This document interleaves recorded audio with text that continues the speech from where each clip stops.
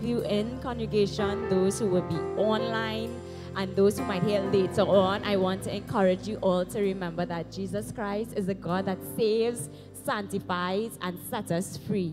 We declare that redemption starts this morning in this house, in our lives. We are the people that will trust in you. We'll be the people that will be defined as great faith. And we thank you for your redemptive power today, oh God.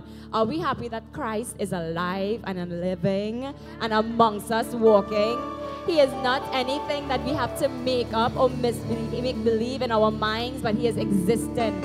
And I know challenges may be rising up, and sometimes we can't feel it.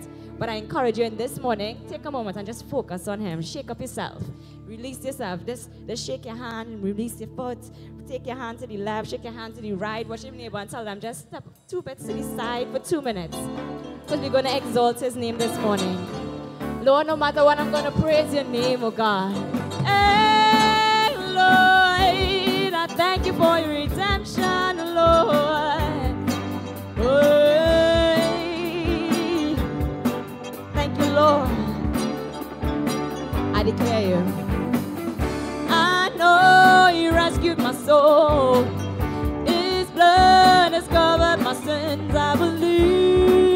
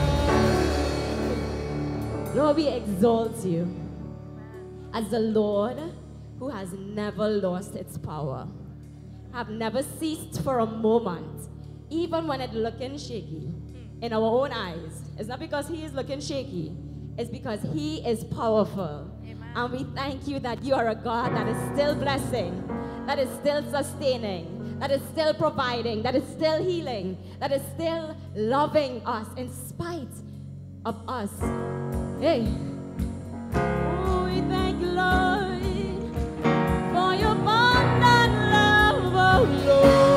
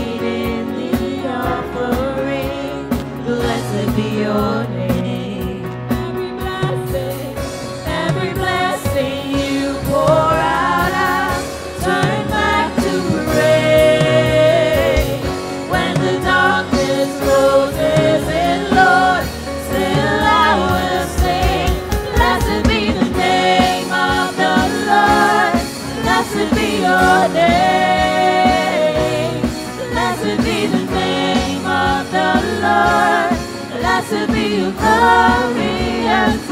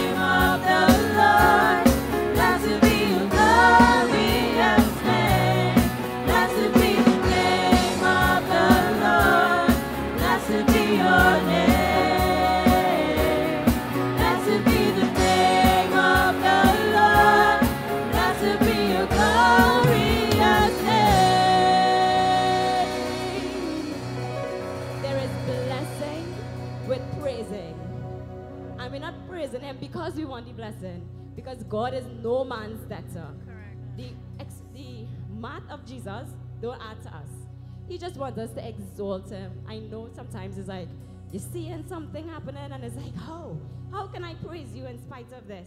And he's saying, trust me. That's where faith is. When we talk about the armor of God and we're putting on that armor and that shield of faith is us actually trusting him. That trust, that trust we may not understand and he shows up as a good and merciful God. I just want to read this quick scripture to you all and it's about thanksgiving. I know it's kind of weird, like when you're in a trial to give thanks, But somehow, with giving thanks, it changes over whatever it is that is happening in your mind. Even if the thing is happening, to still give thanks. In Psalm 136, verses 1 to 3, it says, Give thanks to the Lord, for he is good, for his steadfast love endures forever. Give thanks to God of God, for his steadfast love endures forever. Give thanks to the Lord of Lords, for his love endures forever. It doesn't stop because of your challenges, it still endures forever. It doesn't stop because things are good, his love endures forever. And he's still a good God. He's still a merciful God. He's still a loving God. He's still a God that sustains and keeps us. How much we love you, Lord. Because you first loved us.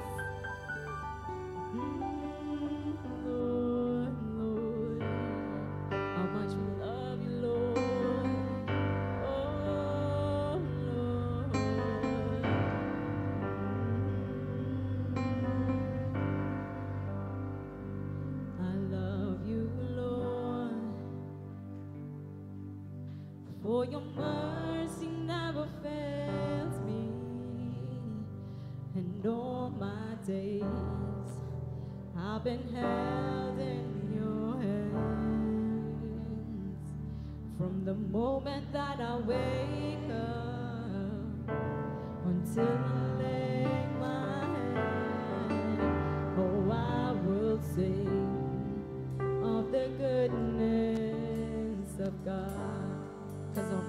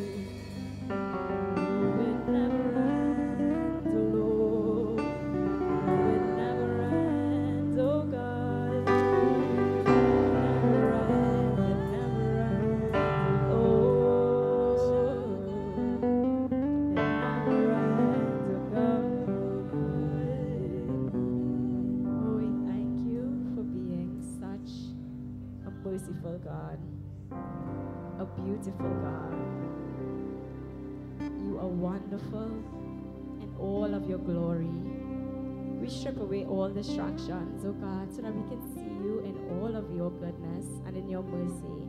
Lord, you said you wouldn't share your glory with no one. So we, we lay aside all our world wants and needs just to exalt you. place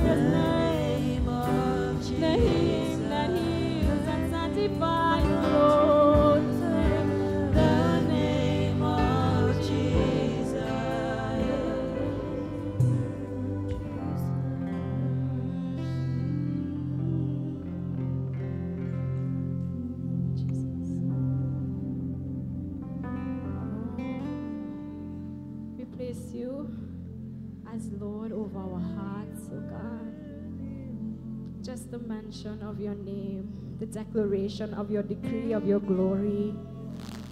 Nothing and no one can take your place. Kings and kingdoms will pass away, but you still remain on your throne. But more than that, we want to invite you in the throne of our hearts this morning. What are the saying is saying, Lord, you take control.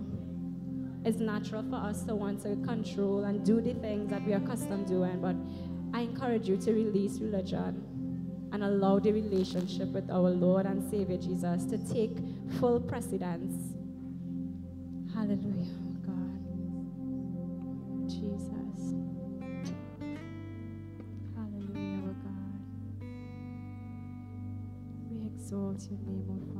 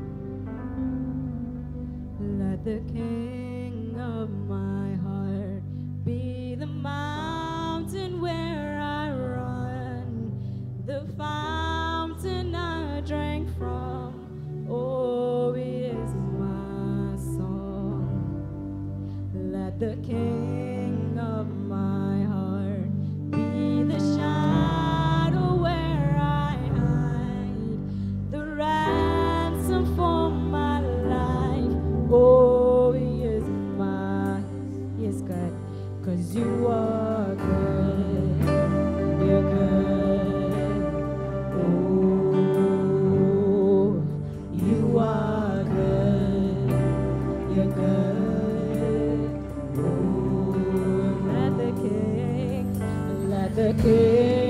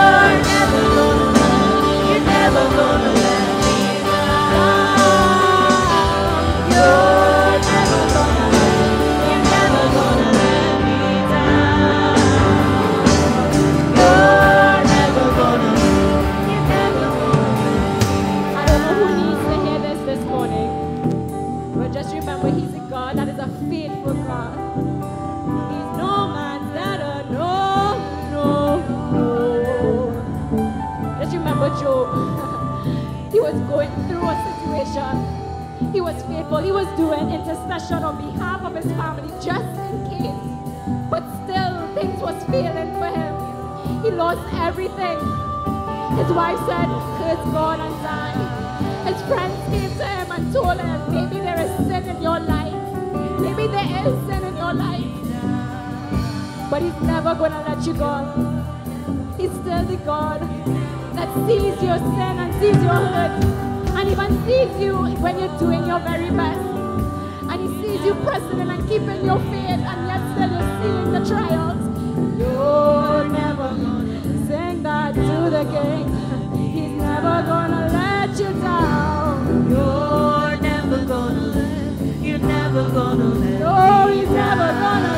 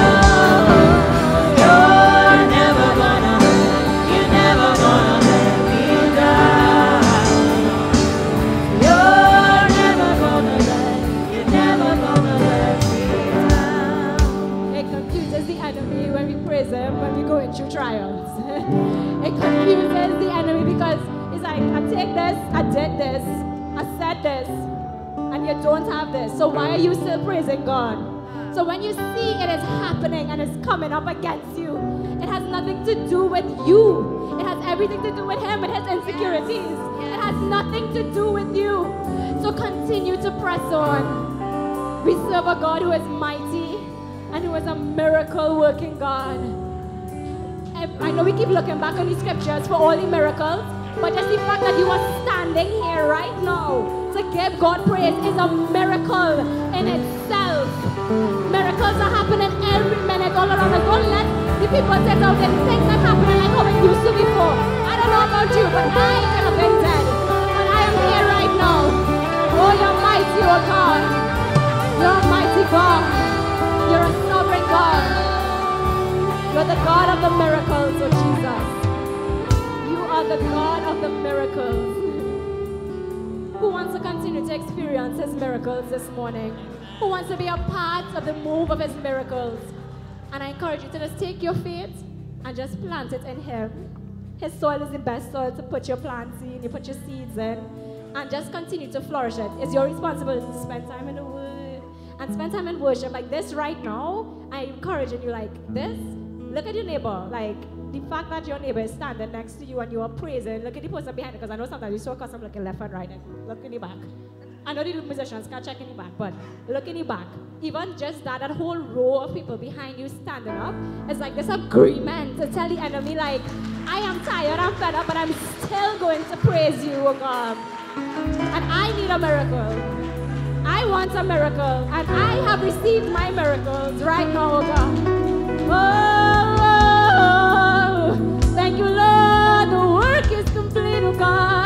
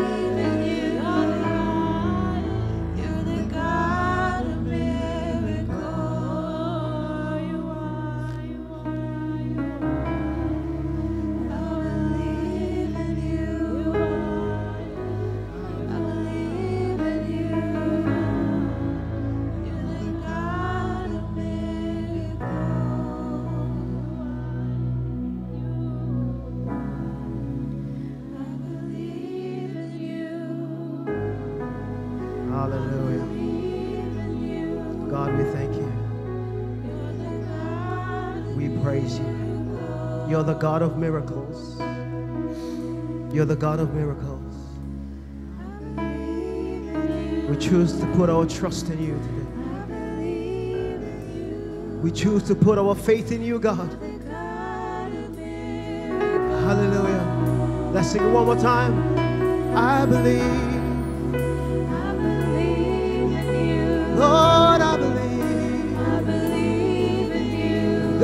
God, I believe. You're the God of miracles. You're the God of miracles,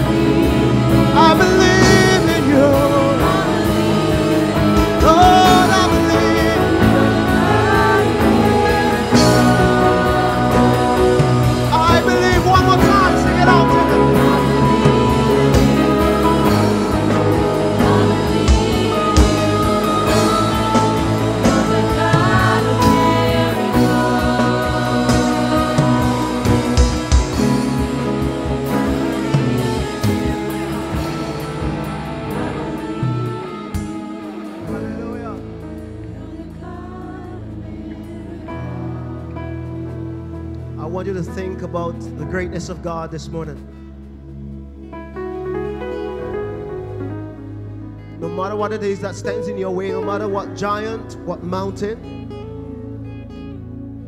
He's still the God of the impossible. He's still the God who makes a way where there seems to be no way.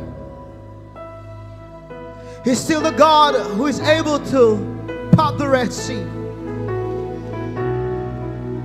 Theology, we call him the immutable God.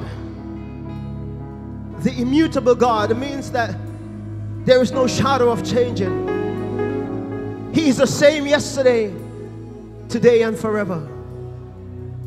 He still has the strength, He still has the power, He still has the ability, but He still has the willingness to turn your situation around to make a way where there seemed to be no way for you. All you got to do is trust Him. All you got to do is believe. He said, All things are possible to those who believe. Would you believe?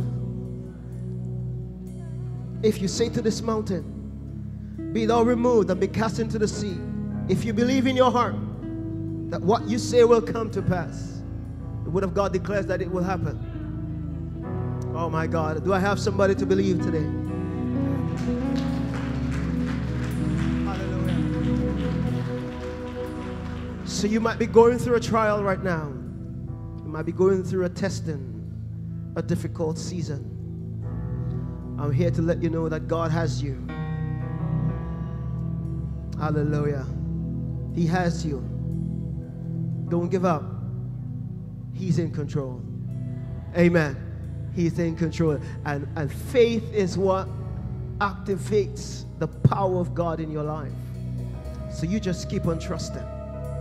You keep on believing. Come on, somebody. Am I talking to somebody this morning? You keep on holding on to His word and His promises. Hallelujah. And He will make sure to bring His promise into fruition. Amen. Let's put our hands together for the King of Kings. Come on, make some noise. Hallelujah. I know you can do better than that. Come on, make some noise in the presence of the Lord.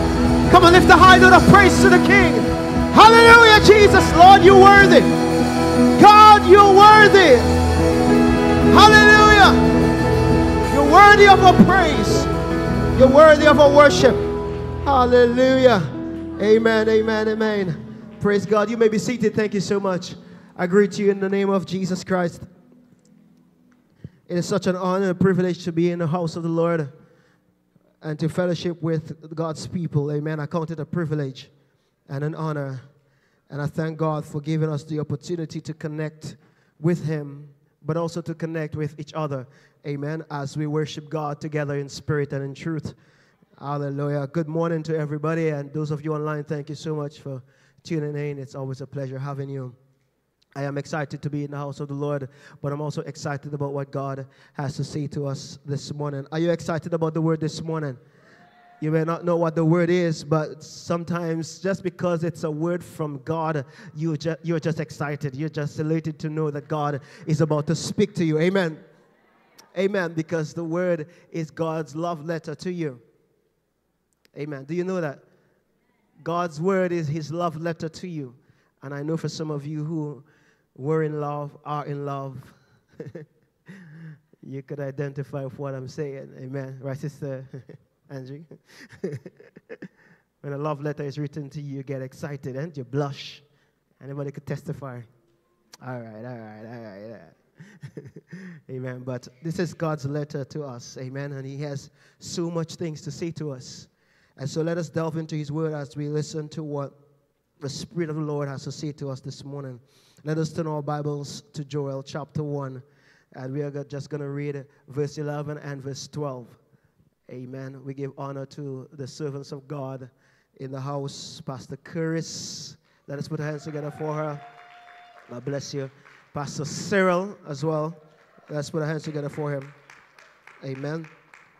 Uh, Pastor Keon is not here, but um, I believe that he's watching online. So let us still put our hands together for him. Uh, amen. Thank God for him. Praise God. I just want to recognize the worship team as well. Let's put our hands together for the worship team. Let us thank God for them. Amen. Praise God. And put your hands together for yourself. Amen. Put your hands together for yourself. You are in the house of the Lord. Amen. And uh, you could be somewhere else, but you choose to be in His presence. And so I thank God for that. Verse 11 says, Be ashamed, O you husbandmen. Howl, O you vine dressers, for the wheat and for the barley, because the harvest of the field is perished. Verse 12. The vine is dried up, the fig tree languisheth, the pomegranate or the pomegranate tree, the palm tree also, and the apple tree, even all the trees of the field are withered because the joy, because joy is withered away from the sons of man. Could we pray? Father, we thank you. We give you thanks, O oh God, because we know that you have been so good to us. We give you praise, O oh God, for who you are. You are the revealer of all secrets, God. You are the revealer of truth.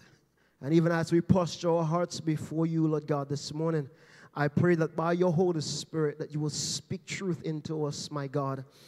I pray, Father God, that we will not just be hearers of your word today, I pray that we'll be hearers, but also doers, Father God. We will not just listen, my God, but we will receive what you are saying and we will practice what you are telling us to do. I pray for us, Lord God, that we will not allow anything to distract us, Lord God, this morning. I pray, God, that you will fine tune our ears to hear your voice, Lord God, through your word today. I thank you for speaking through me, Lord God. I declare that every word that will be uttered out of my lips, God, will be Christ orchestrated and directed. So, Father, I thank you for your Holy Spirit that empowers me this morning. In Jesus' name, Amen. So we're continuing our series on harvest, and I'm coming to a close, as I said before, and hopefully that we are able to close this morning. Amen. But we're talking about hindrances to harvest. A couple weeks ago, I spoke about uh, the hindrances to our harvest, and I made mention of six of them. And I want to continue the or the four. And so, if you do not know what we're talking about, if this is your first time here, we are in a season of harvest. This is God's word to us as a church, as a people. And um, throughout a couple of months, I have been uh, looking at the harvest season from a biblical point of view, of course. And um, we are coming to the close of not the season, but the series. All right? And so we talked about the things that could hinder us. And one of the things that I highlighted was that we must be cognizant of what it is that the devil is using to try to not just stop our harvest, but to destroy our harvest. And what I've recognized about the enemy is that if he can't stop the harvest, if he can't destroy it, he will try to hinder you from receiving it.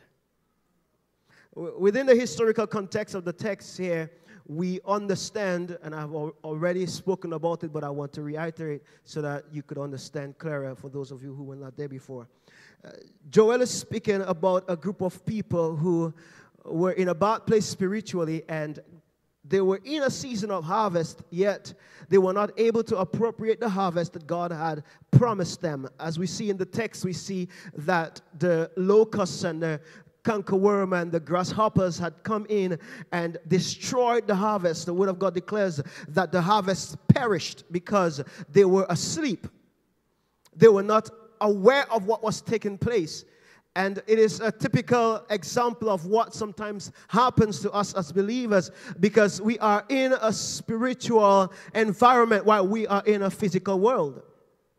And may I propose to you that the spiritual world is even more real than the physical world that you live in. In fact, the manifestation of the things that you see in the physical world is as a result of what is taking place in the spiritual world.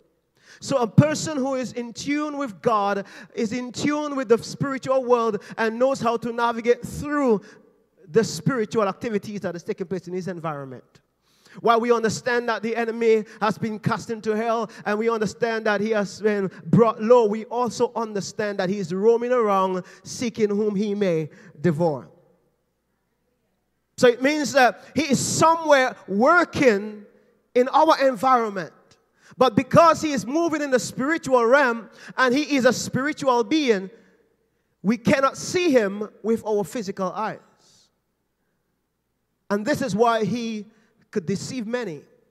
In fact, the Word of God tells us that in the last days there will be deception, that He will deceive people. He will present things to us. And if we are not discerning, if we are not able to identify and recognize His move and His acts and His work, we will be fooled and we will be deceived and destroyed. Because before the devil destroys us, the Word of God tells us that he entangles us, he ties us up. Before he ties us up, he disguises himself so that we will not be able to notice him and to recognize him. And this is why it is so important for us to delve into the Word of God.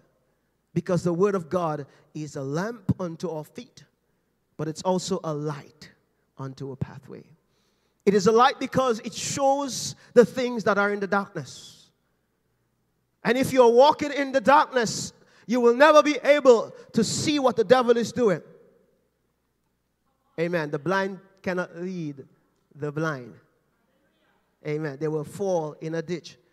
But if you are tuned to God and you are in His Word, the Word of God reveals to us the tricks and the trickery and the schemes of the kingdom of darkness, of the devil.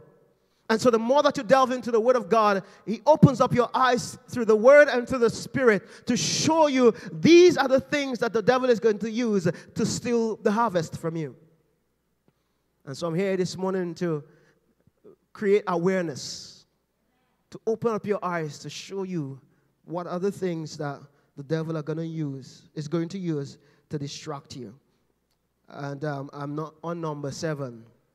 So, number seven ingratitude. All right? Ingratitude. And when we talk about ingratitude, we're talking about the posture or position of being ungrateful. Sometimes God blesses us with things, He, do, he opens doors for us, He makes ways for us, He blesses us, He pours into our lives, He gives us favor. But because of our unrenewed mind and because of where we are in our relationship with God, we could be ungrateful to Him for what He has blessed us with.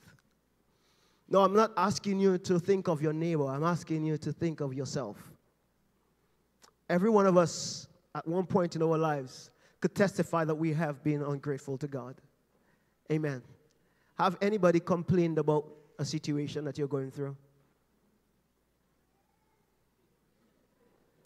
Amen, sister. Thank you. Thank you for being so honest. I love I love some folks in the congregation who would just raise their hands, uh, you know, yes, I was ungrateful. and it's true because we all have had these moments of ingratitude where because something that one thing went wrong in our lives, we tend to just step into a mood of being ungrateful to God and start to fix our eyes on the negative things that are happening and magnify the negative things instead of the many blessings that God has been pouring into our lives. Are you there with me? But but but the scripture that I'm going to use to, to, to bring clarification on this is Psalms 103 and verse 2. From verse 1, it says, Bless the Lord, O my soul. He starts very powerful. Bless the Lord, O my soul, and all that is within me. But then verse 2 says, Bless the Lord, O my soul, meaning praise the Lord, O my soul. But then he says, and what? And forget. Forget not all his benefits. Forget not, not some, forget not all. I don't know what you're going through. But I want to let you know that you have so much to be grateful and thankful to God for. And if you're not mindful, the devil could use your ingratitude to rob you from what God wants to continue to pour into you. Because there's a, there's a principle that God works with. If you are faithful with the little that He gives to you, He's going to make you Lord over greater things. You need to be grateful for what He has given to you right now. You want to enter into the season of harvest uh, where there is abundance and plenty. But guess what? You are, you are complaining about what is given to you right now. Amen. If you cannot be grateful to what to, for the gifts that He has given to you now, do you think that He's going to give you other gifts? Come on, somebody. If you if you're not grateful for the job that you have right now, you, do you think that He's going to entrust you with something greater? Ingratitude could hinder you. So the psalmist said, Forget not all His benefits. And verse 3 says, and he lists all of the benefits that He has in His mind. This is not uh, all that He has, but some of them He would say, Look at this. It says, Who forgives all thine iniquities. when was the last time you say, God, thank you? For forgiving my iniquities. Amen. And he's very intentional about this. Iniquity here would carry the understanding of, of a, a type of sin that has held you in captivity for a long period of time. Have you ever been struggling with something and God delivered you from it? Come on, somebody. If God has delivered you and He has forgiven your sins, it is something to be grateful for. You don't just say, Well, I thank God for the blood. You know, He has forgiven me, and that's and you move on. No. The first thing that He makes mention of is that God, you have forgiven my iniquities. When I stand before you, I stand before you as though I've never sinned. Do you understand the sacrifice that was paid for your redemption, my friend? In fact, the Word of God tells us without the shedding of blood, there is no forgiveness, there is no remission for your sin. But you are here, you are lifting up your hands, and you forgot. That the reason why you are now qualified to stand in His presence, to worship Him in the beauty of His holiness, and to lie prostrate before Him, and to enter into the Holy of Holies is because uh, the blood was shed, and the veil was torn, and access has been given to you. Sometimes we could forget. So the psalmist says, Do not forget what has given you the opportunity to enter into that place uh, of praise uh, and worship to God. Come on, somebody. Then he says, look at this, the next part, who heals all thy diseases. Ooh. Have God, any, anybody, have God given you healing? Has God given you healing? Has God healed you something? Come on, somebody. I, I am, I'm a living testimony of the healing power of God. I had so many complications in my body, but today I stand here healed by the power of God. Listen to me. My God is a miracle working God. He is a healer. Come on, somebody. And, it, and maybe you might not be faced with something drastic, but just the headache that you had that God healed is more than enough to give God thanks for. Sometimes things happen in our bodies that we do not even know about. And God healed us from it. And we, don't even, we, don't, we did not even know that that thing that God healed us from had the potential to kill us. No, now, not because God never showed you the gravity of it. The severity of it means that it was not serious. It was just a headache that God, no. Do you know that that headache was planned by the devil to destroy your life? Come on, somebody. There was a time when God showed me that He healed my body from something that was detrimental to the point where it was going to kill me. I did not know that. But God showed me. Are you there with me? So sometimes God does things in our lives uh, and He does not always reveal to you the severity of it. But you don't have to know the severity of it and how serious it is because He has healed all my diseases. I'm going to give God a mighty high note of praise uh, in gratitude. Thank you, Jesus. My God, look at the next part. It says, Who redeemed thy life from destruction. My God, when the devil sought to kill you on the highway. Come on, somebody. When, when you were in the wrong place at the wrong time and the enemy wanted to destroy you, guess who protected you? It was God who redeemed your life from destruction. He stopped the plans of the enemy from coming into fruition in your life. You better give God praise because ingratitude is something that some people struggle with. Be grateful. It says, look at this who crowns thee with loving kindness and what? And tender mercies. God doesn't have to do that. He doesn't have to crown you with, listen, He has placed a crown of loving kindness and tender mercy upon you.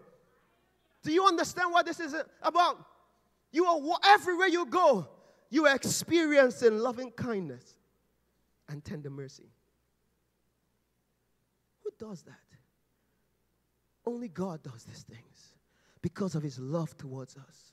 Everywhere you go, you are experiencing the kindness of God the favor of God. But you take it for granted. You see, because the thing about it is when, when we have things going nice for us, and, and, and we wake up in the morning and we have breath. Come on, somebody. We, we wake up in the morning and we are healthy. We wake, up, we wake up in the morning and we have stuff in our cupboards to make lunch and breakfast and all of that. Guess what? Sometimes we forget you see, uh, the only time we will remember is when, when we wake up in the morning and we can't move our legs.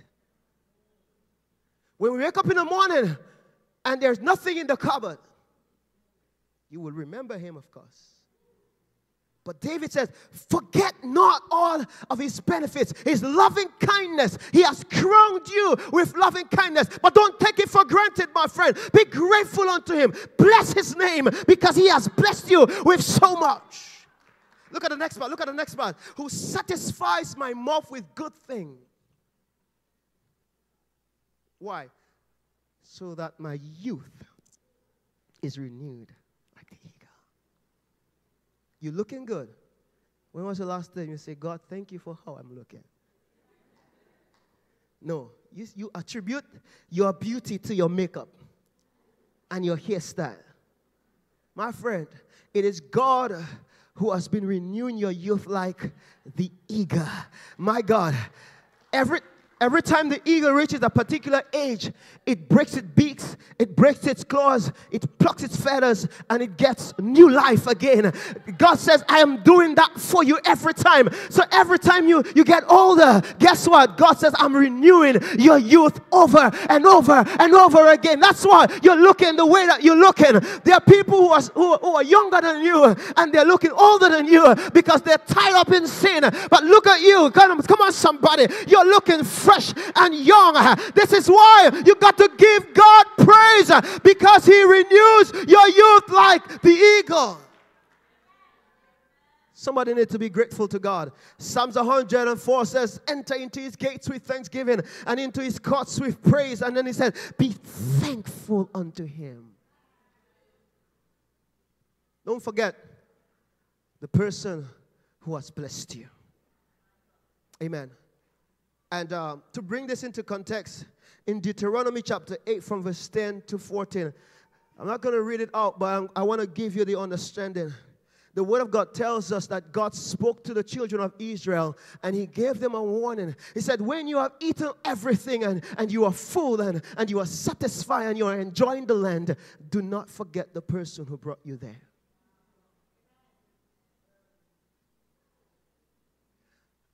Psalms 74, 78, my God, and verse 10 to 11. This is so profound. It says, They kept not the covenant of God and refused to walk in his law. He's talking about the same persons in Deuteronomy that he told, Do not forget. Do you know that these same individuals, they forgot? He says, when you, when you are filled and, and you have received the abundance and you're enjoying the things that I've blessed you with, do not forget Psalms all the way, some years after comes. and Psalm 78, uh, and the, the writer is, is reflecting on what went on in the past. And the word of God is saying that they did not keep the covenant of God. Verse 11 says, and forgot his works. It is very possible for you to be enjoying the blessings of God and it becomes a norm for you. It becomes an everyday thing for you. Ah, I have money in my pocket, health, soundness of mind, family, I have everything. You go throughout the day, not a thought runs to your mind to tell you, be grateful. Just say thank you, Jesus, for waking me up this morning. Thank you, Jesus, for the children that I have, for the husband, for the wife. Come on, somebody. For the food on my table, for the job that I have. Yes, the boss is stressing me, but at least I have something. Come on, somebody. Be grateful. They were ungrateful to God. And as a result of that, when you, when, when you have created a culture of ingratitude in your life, it's easy for you to continue to just live life without gratitude. And so, after the psalmist talks about that, we see a new generation comes in and they adapt to the same culture ingratitude. God blessed them with the harvest, and they were not even able to keep the harvest. Locusts came in, destroyed the harvest, and guess what the Bible tells us? They were drunk and asleep. Now, there is so much more that God wants to do in your life. But I understand in order for me to make room for God, I must be able to position myself in the right place for Him to pour into me. Come on, somebody. And part of positioning myself is to let God know how grateful I am for what He's blessing me with, but also to say, Thank you, Father, by faith that because I've been faithful in little, I know that you are going to open doors for me and you're going to pour more into me. So you're going to make me Lord over greater things. So I posture my heart, I position myself to receive the abundance that God has promised me because I know I was faithful in the little that he gave. Come on, somebody. One last point on this. Uh, two more. Two more points on this. uh, Timothy chapter, Second Timothy chapter 3 and verse 2. And Paul was talking to Timothy about the last days. And I believe that we are in the last days. And one of the things that characterizes the last days, look at this. Men shall be lovers of their own selves. We see that covetous, boasters. they like to brag about their accomplishments and about their abilities and so on. Proud, blasphemous, disobedient to parents. Ooh, we have a lot of that. But interestingly, Paul puts this one as part of the traits or the signs of the last days. He said, People will be unthankful. People will be, this is a prophetic word, though. This is a prophetic word. People will be unthankful, ungrateful. I want you to guard yourself against this. And I know that you might be saying that I'm guarding myself against pride. I'm guarding myself against blasphemy, unholiness. But maybe you might be taking unthankfulness for granted. This is a trait of the last days. And this is part of the kingdom of darkness. To be ungrateful. God, listen, the, the God of this world, which is the devil, he wants you to be ungrateful to God. He wants you to be unthankful. He wants you to take what God has given to you for granted.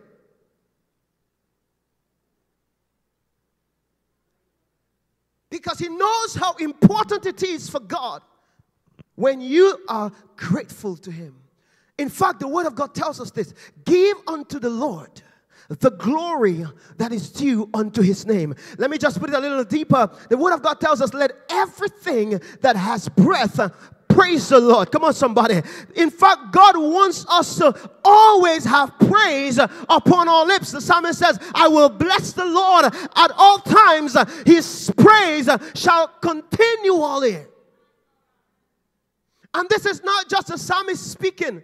This is the heart of God that His people will live a life of gratitude before Him and always be thankful. Every morning I wake up, I am thankful for the breath of life that He has given to me. The Word of God tells us in the book of Luke, chapter 17, from verse 14 to 18, Jesus had healed some lepers. And the Bible tells us that 10 of them went and one came back. One came back to tell Jesus, Thank you. Look at this says, and one of them, verse 15, and one of them, when he saw that he was healed, Jesus told them, Go and show yourself to the priest. And as an act of faith, as they left, the word of God tells us that they were healed. Wow. Faith healed them through the word of God. But look at this. One of them came back. They turned back and with a loud voice, what did he do? He glorified God. He was grateful to God. Look at this. And he fell on his face at his feet, at Jesus' feet, and gave him thanks. And he was a Samaritan. He was not even a Jew. But I want, to, I want you to pay attention to Jesus' response to the man's gratitude. Look at this. And Jesus answered and said, Were there not ten cleansed? But where are the nine? God's expectation is for you to return after He has blessed you, to return to Him to offer up thanksgiving and praise. I hope you're not the nine. I hope that you are the one that came back and say, Jesus, thank you for what you have been given to me. Thank you for your blessings upon my life because it is Jesus' expectation. He was expecting them. He said, Listen, you alone came back. Where are the rest? Expectation. And he says, Go. I don't know what happened to the rest, but this one, he told them, Listen, your faith has healed you. You are healed. Go. Are you grateful? Because gratitude is an act of obedience to God that shows you what, how much you appreciate what God has given to you. Number eight, let me just run through this one disunity. And I'm speaking from uh, a general point of view here. And when I say general point of view, I'm talking about the church. God wants us to be united as one. I've been talking about it throughout Bible study as we look at the word uh, togetherness we have been talking about the importance of getting together and having unity in the body of Christ. And what the Lord is saying here as it relates to our harvest is that God cannot bless division and disunity. Okay? And so if you are part of disunity and division, uh, you're going to rob yourself from blessings of God. Are you there with me? The Word of God tells us in the book of Corinthians, 1 Corinthians chapter 14 and verse 13, 30, 33. God is not the author of confusion, but of peace. Amen. God is not the author of confusion, and the context gives us the idea that they were in confusion. They were divided, they were doing their own thing. Everybody was, was doing their own thing and trying to uh, suppress the other and oppress the other. But God says, I am not the author of confusion, I'm not the author of division. Amen. I want you to be united. So be mindful, be aware of division. Don't be part of division. But I believe that when the body of Christ becomes united as, as Jesus wants us to be united, we will be a force to be reckoned with. When we are united, we create that level of influence in our world. Amen. In fact, the Word of God tells us uh, that when we are united, our, our unity creates a, a message for the people out there. Jesus said, When they see how you are united, they will know that I am from the Father, that the Father has sent to me. Jesus said this This is how people are going to know that you are my disciples by your love for one another. Unity. Somebody say unity. God wants us to unite together. Amos chapter 3 and verse 3 tells us two cannot work together unless they agree. Matthew chapter 12 and verse 25 talks about a kingdom divided against itself cannot stand. But Matthew chapter 18 and verse 19 talks about if two shall agree as touching anything, it shall be done for them. For where the two or three are gathered in my name, there I am in the midst of them. My friend, if we would unite together, we will see the move of God because there is a corporate anointing that God releases when the people of God is in oneness of mind and oneness of heart. The Word of God tells us how good and how pleasant it is for brethren to dwell together. Where? In the place of unity, for there the Lord has commanded a blessing. It is in the place of unity that we receive the blessings of God. So if there is any seed of division in your heart where you feel that you're better than somebody and, and that you're trying to press somebody down to become something, my friend, get rid of this because this is a character trait of the, the kingdom of darkness. Amen. It is the kingdom of darkness that seeds, that plants seeds of division in the church of God. Amen. And we must be mindful of it. And the word of God wants us to understand that we have the ability to discern division and the seeds of deception and division. Amen. The spirit that God has given to us does not lead us to make division or to, or to create division in the body of Christ. I don't know who I'm speaking to, but if the enemy has been playing on your mind and sowing seeds of hatred and malice for your brother, your sister, my friend, ask God to, to deal with that thing because it is detrimental to your spiritual life and even to the season that you're in. Amen. The word, a word to the wise is sufficient. Amen. James chapter 3 and verse 16. For where envy and self seeking exist, confusion and every evil work is there. Don't play with division. It is an open door. It is an open door for strife and it's an open door for, for destruction and evil works. Amen. Because most of the times, division is fostered by jealousy. Amen. Why, do you, why are you jealous at your brother? Why do you envy your brother? That's the word of God. Why do you try to destroy your brother? We should love one another. How could you love God and hate your brother? Whoever says that they love God must love his brother also. Guard yourself from division. Amen.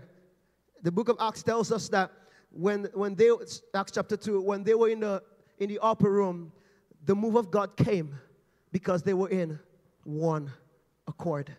Are you there with me?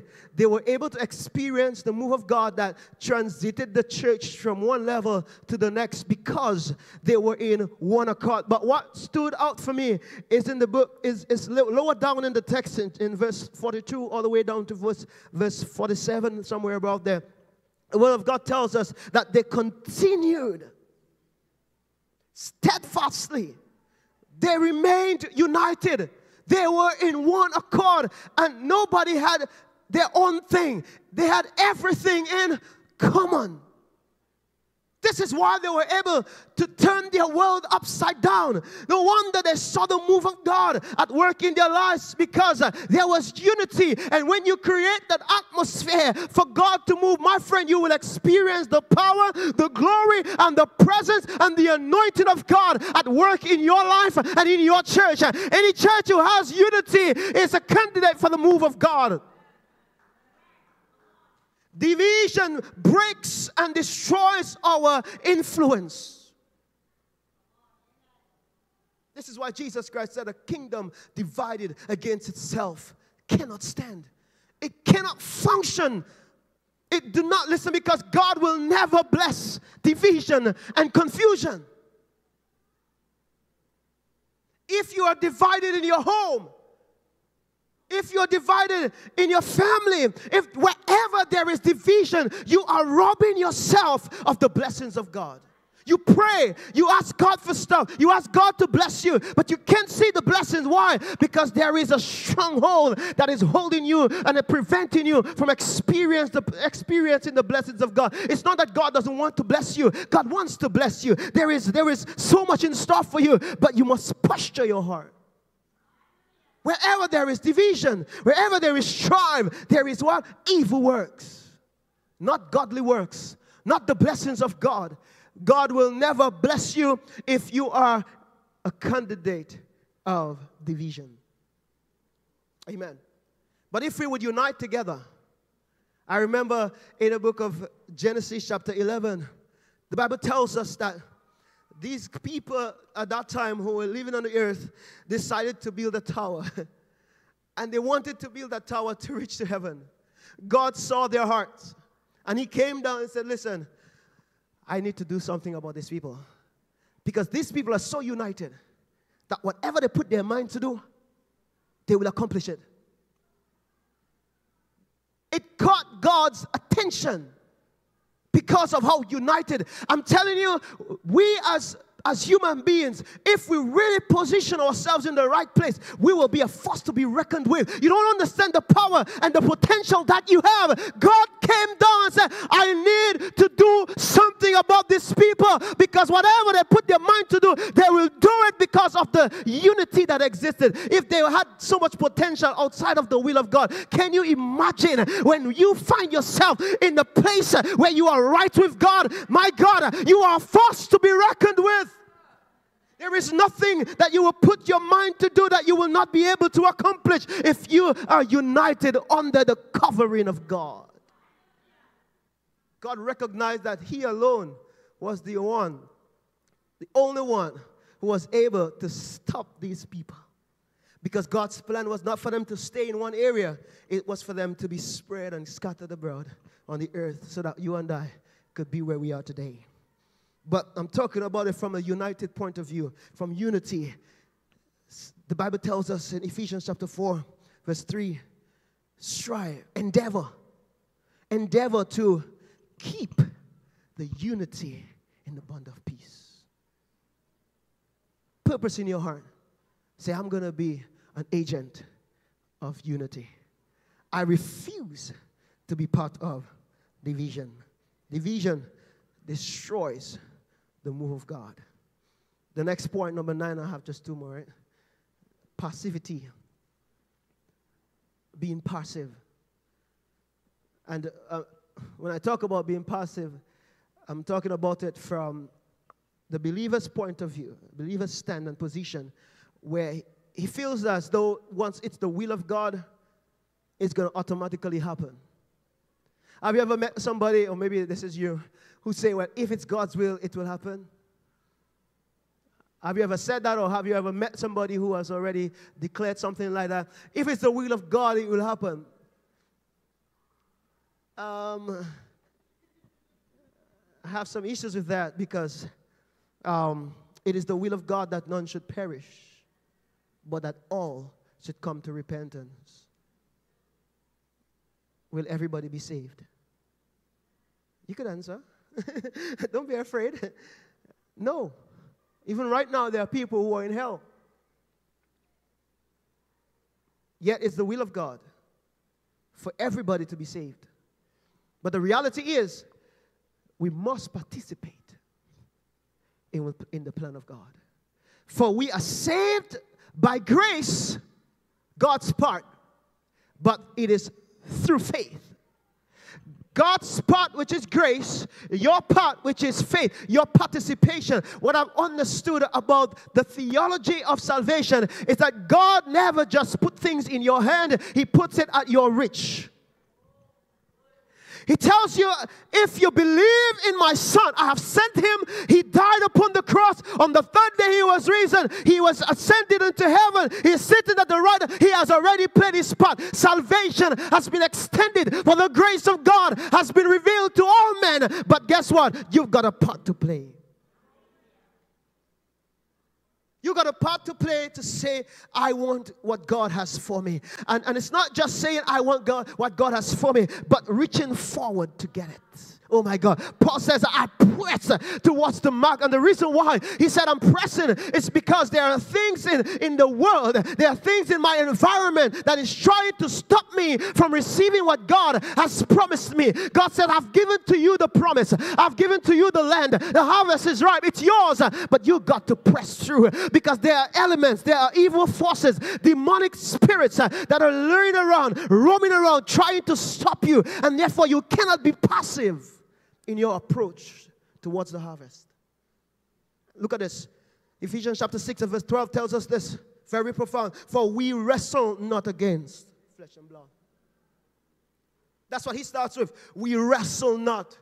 We are not fighting against flesh and blood. In other words, there is a fight going on, my friend. And, and in order to win this battle, in order to win this fight, you cannot be passive. It cannot be whatever it is will be. Que sera, sera. It cannot be that. It must be the violent taketh it by force. Come on, somebody. It must be that you saddle up yourself, put on the armor of God, and say, I'm going into the enemy's camp and I'm going to take back what the devil has stolen from me. Come on, somebody. For too long, the enemy has been dragging some of us. It's time to rise up and say, Here's what uh, I know the harvest belongs to me, and therefore I'm going to take it. I'm going to come out of my comfort zone. And I'm going to come out of that place of passivity, hallelujah, and say, I'm going to take what God has for me. Amen. The land was provided for the children of Israel, it was already there. But God says, I want you to go and take it. God never put things into your, into your hand, He placed it at your reach. Go get it. Come on, tell somebody, go get it. Go after it.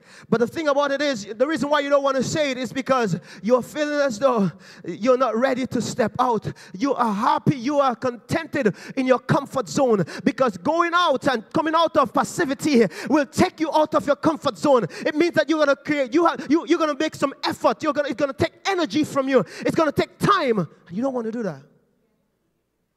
You give your time and your energy and your efforts towards everything else apart from your spiritual life. My friend, if you feed the flesh, what will you reap? whoever sows into the flesh will reap corruption. But if you want something spiritual, you must sow into the spiritual. Be active. Don't just come to church. Don't just be a church goer. Don't just sit on the bench every Sunday, now and then. Every two, three, four months, we see in you. Oh, sorry, sorry. This is just a pastor talking. Uh, uh, I'm sorry, I'm sorry. Yes. You can't appropriate, you can't appropriate the things of God by being passive. Jesus did not say, Well, you know, I came to do the will of the Father. And when the time came, he said, Well, if, you know, if, if it's the will of God, let it be done. He says, No, no, no. He said, I, nobody takes my life from me. I actively, willingly give my life down. So when Pilate said, Listen, your life is now in my hands, I could do whatever, Jesus said, Who said that? Do you not know that the reason why my life is in your hand right now is because God has given it to you? When Peter said, let's, let's, let's, let's, let's fight and let's deal with this army, Jesus said, Listen, do you not know that I could call legions of angels to come and set me free, man? I am doing this. I'm not just talking about going to the cross. I have to go to the cross and I'm going to carry my cross and allow them. Listen to me. Jesus could snap his finger and let that nail fall from that, from that soldier's hand and break his hand or whatever. Jesus willingly gave his life because he came for this purpose. And he's expecting you and I to do the same. Amen. Get involved. Get active when the devil comes knocking at your door, trying to attack you. Listen to me. You need to take on the whole armor of God, my friend, and speak the word of God and use the sword of the Spirit. We are not just on the defensive side, we are also on the, def- on, on, the, on the offensive side. We're not just on the defensive side, we are on the offensive side. The word of God tells us take on the sword of the Spirit, which is the word of God. So when he comes with his lies, guess what you do? You knock him down. And you destroy the kingdom of darkness with the word. Amen. So make sure that you are clothed with the armor of God, that you have on your full armor, you have on the word of God to defeat the devil. Amen. Because he will come to you, and if you're not strong, my friend, you will fail. I'm telling you, if you're not strong enough, you will falter and you will miss out on what God wants to do. Because the Word of God tells us this. Uh, before Paul tells him we are struggling, we are, we are wrestling against flesh and we're not wrestling against flesh and blood. He said this put on the whole armor of God. And then he says, be strong in the Lord. Be strong where? In the Lord. You cannot fight on your own. You cannot defeat the enemy in your own strength. You have to be strong, but in the Lord. And if you understand who the Lord is, know that the Lord is a mighty warrior. Know that the Lord, hallelujah, He is mighty in battle. He has the ability to destroy strongholds. You're not fighting on your own, my friend. Greater is He that is in you than He that is in the world. Don't let the devil lie to you and tell you that you are weak. The Word of God tells us He is strong when we are weak. Come on, somebody. Let the weak say that they are strong. Yes, in physical strength, you are weak, but you are spiritual powerhouse because of the God that dwells within you. My God, the Word of God tells us if God be for us, then who can be against us? Stand in the strength of God and defeat the enemy. Hallelujah. Oh, glory be to God. The last point, number 10. Limitations. Limitations on God. Putting limitations on God. Limiting the power of God over your life. No, I'm not saying that you're limiting God, but you could limit what God could do through you. You could limit what God wants to do in you. And it's one thing to look at somebody and say, Yes, God could do that for them. But do you have that confidence that God is going to do it for you? Do you know that the same love that God has for me is the same love that He has for you? Amen. Yes. He loves you with an everlasting love. But you must learn to trust Him and not put limitations on what God could do in your life. Is there anything too big for God? Is there anything too difficult for our God? No, it is. It's not. The Word of God tells us with God, all things are possible. And you need to remind yourself that all things are possible with God. And you need to believe that. You need to remind yourself of it and you need to stand upon that truth, my friend. Because if not, the devil will tell you that what you are believing God for is too much, it is too big, it is too, it's too vast. God will not do it for you. Although He is a great God. But who say He's going to do it for you? This dream, this plan, it's too big. but my friend, the Word of God tells us this He who comes to God must believe that what? That He is. He is what? The all powerful, the omnipotent. Come on, somebody the God who has the ability to do miracles. This is the God that we serve. So don't limit him. Don't limit what God can do in and through you. It was Jabez who came up with this revelation when he was confined to the, the walls of what, of what his mother told him. And his mother said, You are just a child of sorrow. Jabez looked to God and said, Oh, that you would broaden my horizon, and enlarge my territory, and that you would bless me. Come on, somebody. It takes faith to speak a prayer like that because you know that you have been confined, you have been stigmatized, you have been marginalized by people. Now you're telling God to open doors for you, broaden your horizon because He recognized that the God that He served was a mighty God, He's a powerful God. My friend, don't limit what God can do through for you and through you. The same way that He enlarged Jabez's territory, the Bible tells us that God blessed Jabez. And do you know that small, insignificant guy who was a child of sorrow became a scholar? And in Jewish history, he was known.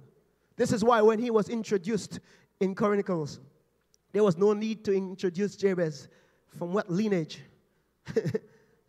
Jabez was honorable. That's how it starts. Jabez was honorable above his brothers. Listen to me. People might be looking at you and saying that you are insignificant. Your family might be insignificant. But when Jesus meets with you, Oh my God. When your blood meets Jesus' blood, come on, somebody. You don't understand uh, the type of blood that is flowing through your veins now. I know that your family had some curses. I know that there were some generational curses that prevent your family from becoming anything. But now you are connected to the King of Kings. You are royalty. Come on, somebody. You are peculiar. You are chosen, my friend. And therefore, God sees you as his son and his daughter. And therefore, there is an inheritance for you in Christ Jesus. God does not limit you. Therefore, you cannot limit what God can do through you.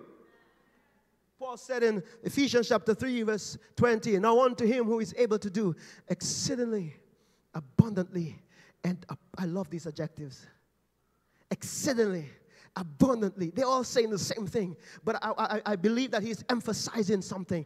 God is able to do it, but it's according to the power that is at work in. Do you know that there is power inside of you? There is something inside of you that the devil is afraid of, my friend. You have the power and potential and propensity to destroy the kingdom of darkness. This is why the devil wants to stifle your growth.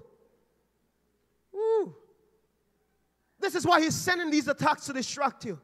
Because if you really come into contact with the purpose of God for your life, if you really walk with God, you will see what God could do through you. If God could take this small, insignificant, stigmatized little boy all the way from the remote parts of Dominica, my God, and use him to speak to thousands of people on such a platform as this. My friend, there is no way he cannot do it for you. I am a living testimony. You, you see what whatever you see here and there are some folks who don't understand what is happening here. Some folks who don't understand the story. I did not just reach here. The hand of God has been upon my life. And it is through Christ that I do everything that I do. Paul says, I can do all things through Christ who strengthens me. And you need to remind yourself that same power that was at work in Paul, the same power that was at work in Jesus, that same power that was at work in Peter, in John, and all of the disciples is the same power that is at work in you. I don't know what the enemy has been launching at you and trying to distract you with, my friend. You've got the power to defeat the enemy, you've got the power to destroy his works. The word of God tells us, Behold, I have given unto you exousia, authority to tread upon serpents and scorpions and over all the powers of the enemy, and nothing shall by any means hurt you. Don't limit God. In fact, the reason why I put this as a hindrance is because when you limit the power of God at work in your life, it's a total disrespect to God. Who are you to say what God can do and what He cannot do? If I was the all powerful God and I created my people, placed my spirit, my all powerful spirit inside of them, and they stand up looking at me and say, God, I cannot do this, I would slap you. I'll tell Now, I'm, I'm not saying that God will slap you, be careful. I would. this is just me and my carnal self speaking, right? Amen. Let, let me come back to the spirit. Too? This is disrespectful because I have what it takes to deliver you. And you're, tell, and you're crying to me about my lack of ability to help you. And God is not just able to do, God is willing to do, my friend. Have you understood the heart of God about you? Come on, somebody. No wonder, listen, the Word of God tells us this that there is nothing that He will not do to reach us. He will tear down heaven, He will tear down the clouds to get to you, my friend. There's no shadow you won't light up, mountain you won't climb up. Come on, worship Him. Coming after me. Can I ask you to stand? There's no wall you won't kick down. Lie you won't tear down. Come on, come on. You gotta be my choir. They're not they're not there yet. Come on. Oh, there's no shadow you won't. Come on, sing it out. Coming after me. Oh, there's no wall. There's no wall you won't kick down. Lie you won't. Come on, just speak it out to him. Oh, there's no shadow you won't light up. There's no shadow you won't light up. Mountain you won't climb up. Somebody needs to believe him today. Oh, no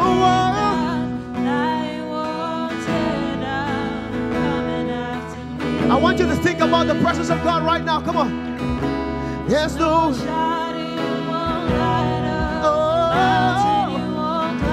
coming after me. There's no one.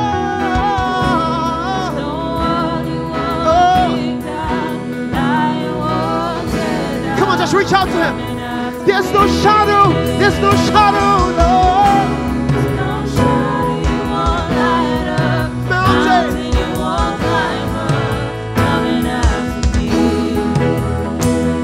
Come on, just look up to him.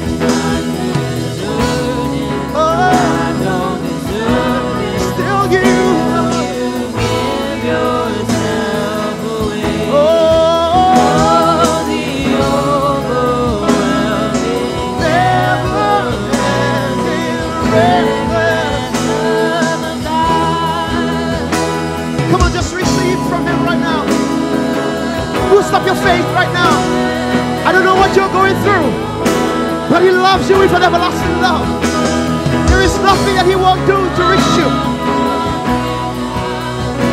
Hallelujah.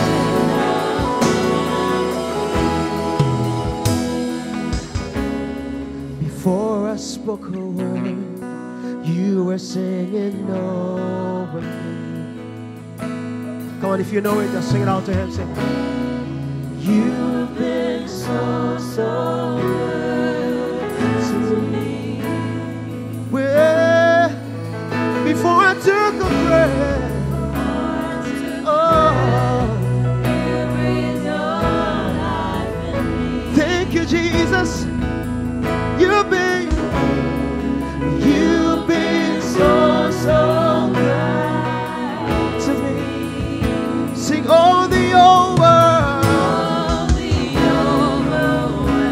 Just sing it out to him? Come on, he's the lover of your soul. I want you to think about him right now. Come on, let him fill you with his love. Come on, let him clothe you with his love. Come on, I see you reaching out. Come on. Hey.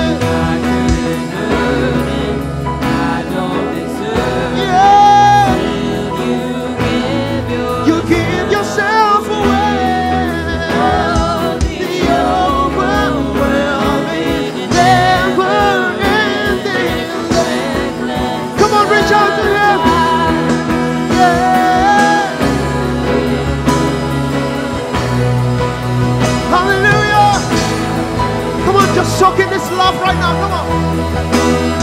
He loves us. He loves us. He loves us. Oh, the overwhelming, never-ending, reckless love. Somebody's being ministered to right now. Come on. Chases me. Fight still I'm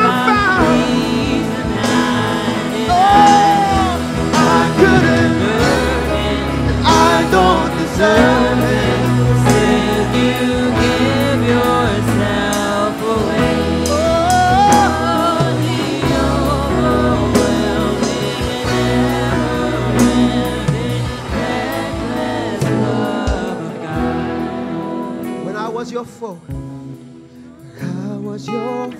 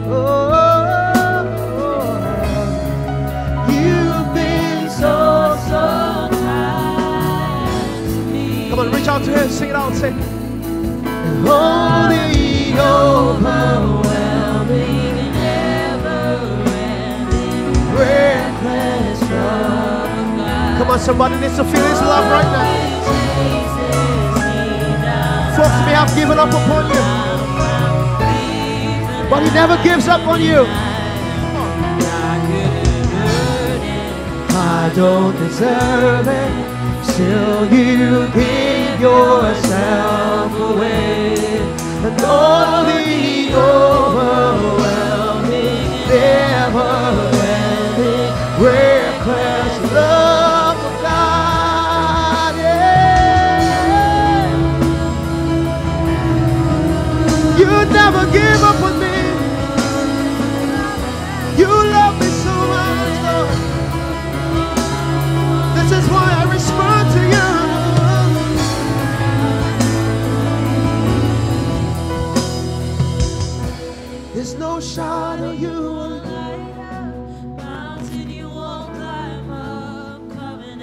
As you sing this song, I want you to reflect on His goodness. to you. What has He done for you? Yeah, yeah, yeah, yeah. Oh, oh,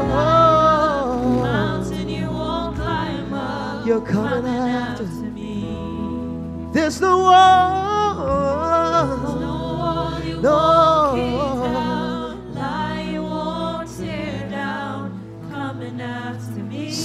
Again to Him. There's no shadow. You will light up mountain you won't climb up, coming after me. Oh, no wall, no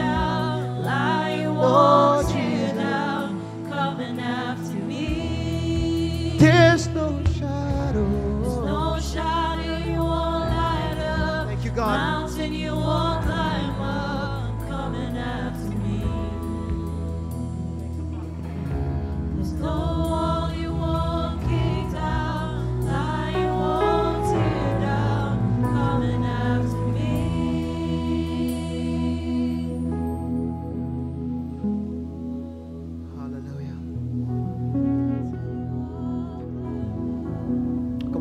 yourself to soak in His amazing love.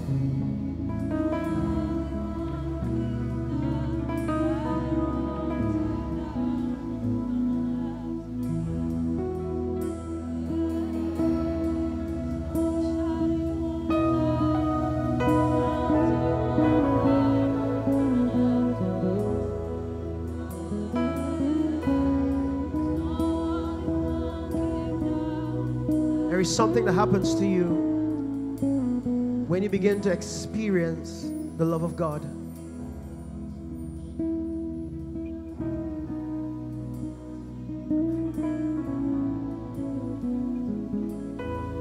Because His love is so overwhelming. It's beyond your comprehension. How could a God so great, so holy, so mighty, so all powerful could love someone like me? I know it's unbelievable. I know it feels unreal, but it is. He loves you. God so loved you that He gave His only begotten Son so that you, if you would believe in Him, you would not perish but have everlasting life. Can you imagine this? While you were a sinner, going against him, doing things contrary to his will, he died.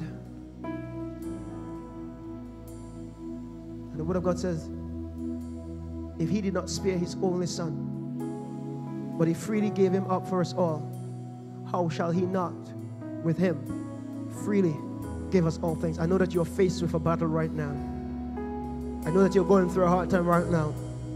But the same God who saved you when you were going against him and there was no condition attached to it, is the same God who is with you right now and He's telling you, I can deliver you, I can heal you, I can set you free. In fact, I'm already moving on your behalf. Would you trust me today? Would you give me that problem right now? Would you give me that situation and watch me turn it around for your good? Thank you, Jesus. Thank you, Father. Thank you, God. I want you to just fix your eyes on Him right now, just for a few minutes.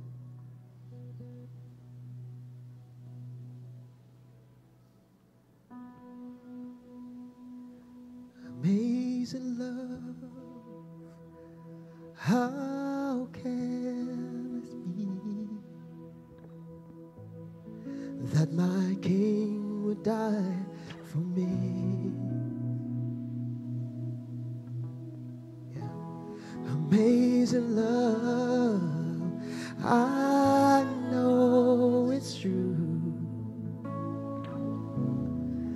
It's my joy to honor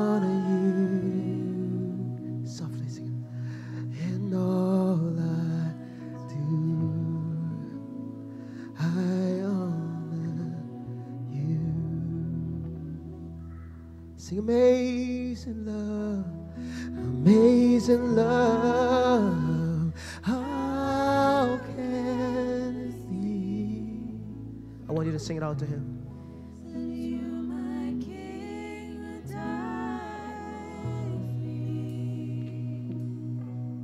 Amazing love. Amazing love. Do you know it? I know it sounds unbelievable, but it is true.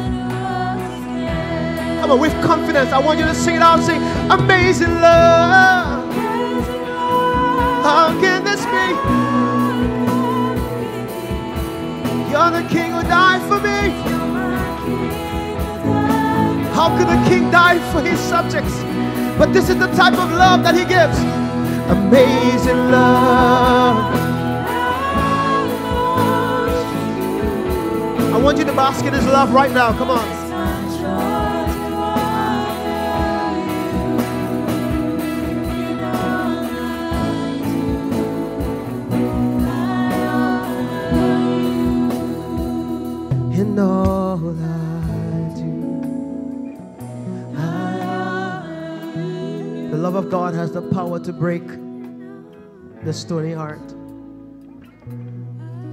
And some of you can't reach out to Him because you have hurt, been hurt for so long, carrying some pains and hurts has created a hardness in your heart. But the love of God has the ability to break whatever stone that is there. Would you allow Him to enter into your heart right now? His love is powerful. His love is powerful. He's talking to somebody this morning who is reluctant to open up their heart to Him. But He wants to deliver you right now. He wants to set you free right now. He wants to break these chains over your life and help you to walk in freedom.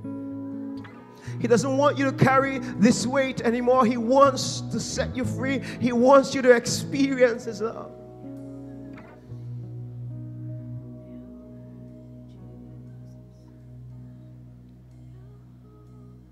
Hold me close. Let your love surround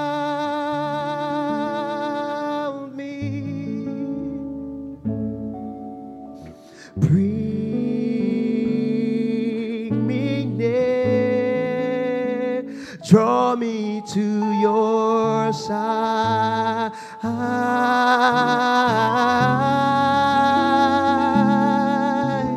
And as I wait, I'll rise up like the eagle, and I will soar with you. Your spirit lifts me on by the power of your love. Sing, hold me close.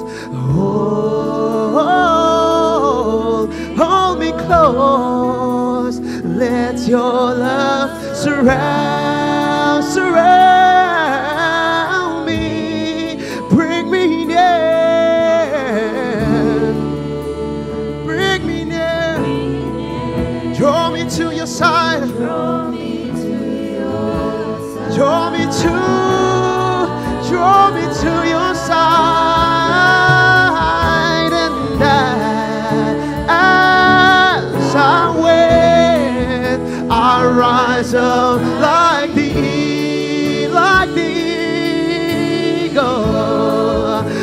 I will soar with you. Your spirit lets me on by the power of your love. Sing it again, sing it again. Oh, hold me close, hold me close. Let your love, let your love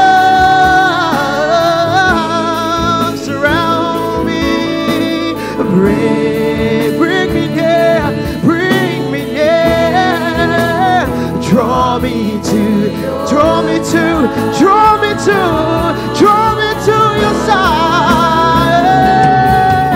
And as, as I wait, as I wait, I will rise, I'll rise up like. Come on, just sing it out to him. And I, and I will. Come on, he's gonna cause you to soar over. Come on. Hey. Sing, oh, draw me close to you, God. Sing, hold me. Hold.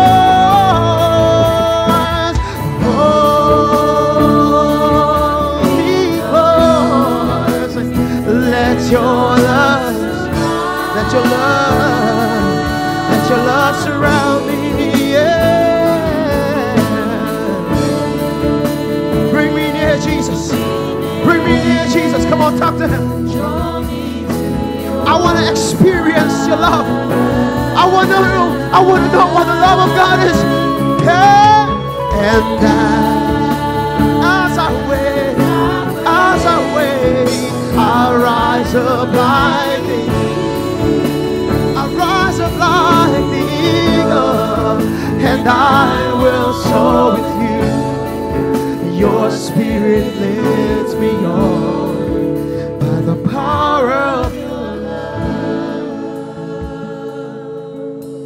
And I will soar, and I will soar with you. Hallelujah. Your spirit leads me on By the power, the power of your love.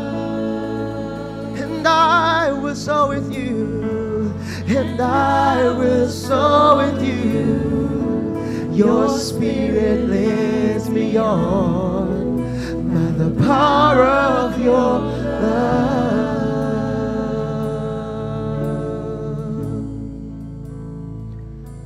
Father, my prayer this morning is for every single one of us, God, to experience what the love of God is. For your word declares that the Holy Spirit spreads the love of God abroad in our hearts and gives us the confidence that we are children of God. And if we are children of God, then we are joint heirs with Christ. If we are joint heirs with Christ, then there is an inheritance for us.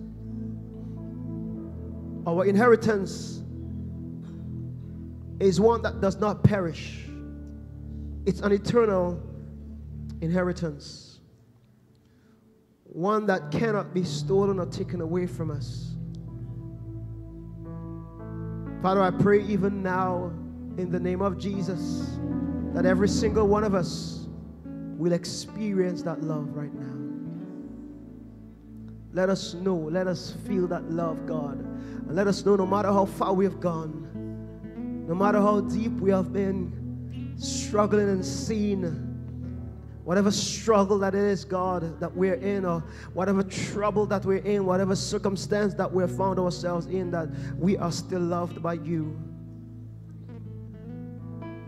And that you are willing and ready to heal us, God. Deliver us and set us free. Do for your people what they desire you to do for them right now. Minister to that need. Visit that situation. Perform this miracle. In the mighty name of Jesus. If you do not know Jesus Christ as your Lord and personal Savior, I want to give you the opportunity to make Him Lord and Savior. He died for you to demonstrate His love. If you do not know Him, I want to give you this opportunity. If you're feeling the conviction of the Holy Spirit in your heart, He's tugging on your heart and He's saying, It's your time to surrender to me. If this is you, you're feeling that tug, you're experiencing the conviction of the Holy Spirit, would you surrender yourself to Him right now? I'm going to lead you in a simple prayer. If you believe in your heart and you confess with your mouth the Lord Jesus, you are saved. It's that simple. Jesus comes into your heart, saves you, delivers you, writes your name in His book, and you are now called a child of God. That's it. Amen. And He takes over your life, and everything is going to be all right with Him. Not that you won't go for challenges or trials, but He will hold you through the midst of the storm, through your trial. So if this is you this morning, I want you to repeat this prayer with me. Say, Heavenly Father, I come before your throne of grace this morning. In the name of your Son, Jesus Christ, I confess that I'm a sinner and without you, I'm lost. please forgive me. Come into my heart and save me. I confess today that I will serve you uh, all the days of my life. Lord Jesus, thank you for saving me. In your name I pray. Amen. This is a simple prayer. Amen. If you said this prayer, there is rejoicing taking place in heaven on your behalf. Amen. And we are elated and excited about the decision that you have made. So if you made this confession, maybe you might be online or in house, reach out to us, put your names uh, at, the, at the usher's desk, and we will contact you. We are doing Bible um, baptism uh, at the end of the month, uh, on the 28th of this month. Amen. And if you want to get baptized, feel free to reach out to us. Amen. God bless you. Let's put our hands together for the King of Glory. Amen. Praise the name of Jesus. We just want to be farewell to those online. Thank you so much for just being faithfully, you know, coming on and uh, being a part of what God is doing here at Life City Church. God bless you.